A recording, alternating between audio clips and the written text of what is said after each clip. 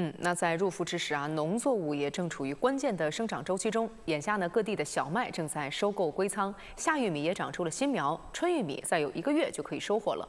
按理说呢，农忙暂时告一段落，但是总台记者在山东采访的时候却发现，这里的庄稼地正迎来一支特别的虫虫特工队。这个虫虫特工队究竟是怎么干农活的？它的战斗力怎么样呢？我们来看记者的一线调研。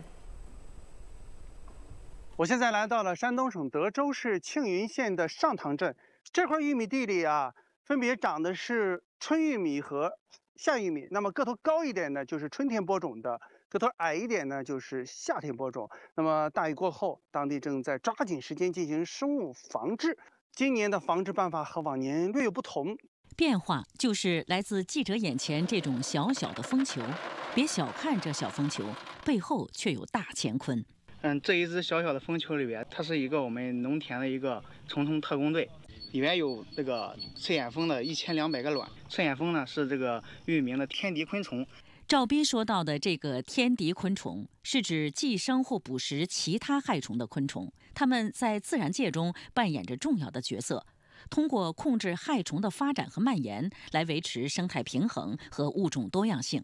盛夏玉米进入快速生长期。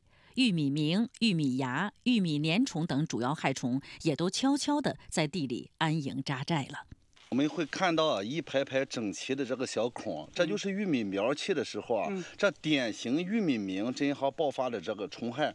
你看它咬的多么齐，这就是案底。在这作案了。哦，玉米螟属于世界性害虫，它的幼虫不光是喜欢吃玉米叶。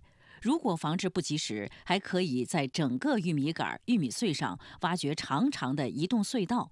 等到了成虫，就会变成长翅膀的千飞害虫，还会再次产卵后钻入玉米穗内。知己知彼，百战百胜。虽然玉米螟危害不小，但研究透了它也不怕。既然地里有害虫，除了帮农户做好基础预防之外，山东供销现代农业发展集团农夫团队还请来了玉米螟的天敌昆虫来精准防治。我们这个最上策就是，呃，用赤眼蜂。我们利用一个生物防治，这个生物相生相克的一个原理嘛。是一亩地要撒八个球嘛，大概就是接近一万个赤眼蜂。进行生物防控只是我们服务的一个环节，我们还提供耕种管输全流程社会化服务，助力农业增效、农民增收。